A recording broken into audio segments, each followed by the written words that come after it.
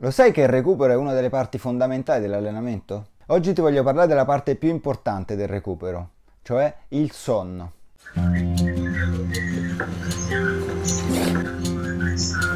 Se sei un atleta mi puoi capire perfettamente perché come me suppongo tante volte ti sei svegliato nel sonno con crampi o non sei riuscito a dormire bene. Se non sei un atleta ti voglio raccontare quella che è la mia esperienza. Devi sapere che io prima di alzarmi e prima di andare a dormire faccio costantemente tutti i giorni questi esercizi di allungamento che ti andrò a proporre in questo video. Questo perché? Perché se no effettivamente, e chi, per chi mi conosce lo sa, io zoppico.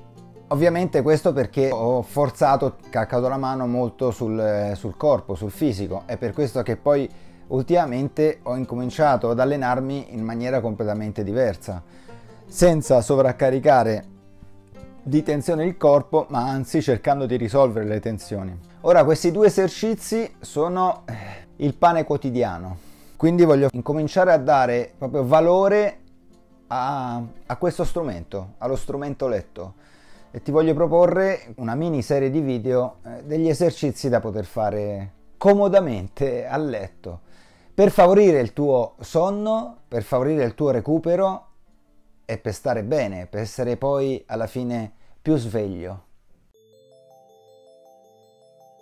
Allora, da sdraiato, piegare gamba destra, prendere con la mano destra la caviglia, ruotare il piede a martello e lasciare giù il ginocchio a scendere.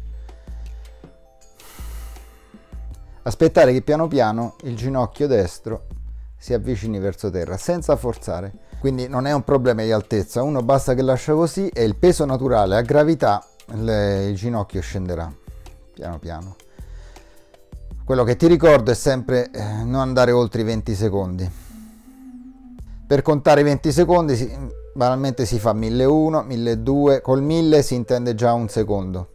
1001, 1200, 1300, 1400 e così via fino a 20 fatti 20 secondi si passa dall'altra parte. Stessa cosa. Ovviamente come ci arrivi non è un problema. L'importante è che riesci a, a, diciamo, ad ottenere la posizione e un po' a mantenerla. Allora, come vedi qua c'hanno molto più teso. Poi in realtà ti potresti trovare anche in questa posizione qua. Va bene va bene non è un problema. È un esercizio che genera una leva naturale quindi eh, praticamente rilascia tut, tutti, tutte le fasce muscolari che passano dentro il bacino e in più va a fare leva sullo psoas, su vari muscoli che vanno e si attaccano sulla parte diciamo eh, lombare della schiena, la parte bassa della schiena. In questa maniera diminuiscono molto il carico. 20 secondi, respiro lento e profondo. Non devi fare nulla, devi solo aspettare piano piano che la gamba da sola scenda. Non devi spingerla tu verso il basso, non è il punto di arrivo, ma è quello che devi riuscire a fare è rilassare. L'esercizio è la farfalla. Quindi congiungo le piante dei piedi e le metto a contatto, stessa cosa, rilasso. Rilasso. Questi esercizi li puoi fare senza coperte o sotto le coperte. Io la maggior parte delle volte lo faccio sotto le coperte, però per evidenti motivi di immagine non, non riuscivo poi a comunicarti come era l'esercizio, indovina come era l'esercizio. Quindi in realtà anche le coperte aiutano a fare una specie di, di peso, anche se sono leggere, però ti aiutano a, a favorire l'intenzione di abbassare. L'importante è, dico, è che tu non ti sforzi a farlo, perché è proprio un concetto, noi dobbiamo trovare rilassamento e far scorrere energie. Molte tensioni le ritroviamo proprio sul, sul bacino. Sciogliendo il bacino andiamo a sciogliere pure la parte alta dello stomaco, un sacco di, mm, di tante cose, noterai. Noterai che la tua pancia parlerà durante questi esercizi. 1001, 1200, 1300, 1400, 1500, 1600, 1700, 1800, 1900 così via fino a 1020 dopodiché sempre molto pianamente ti puoi anche aiutare con le mani a chiudere per se hai problemi se ti fa male. Finito questo ricominci da capo sequenza.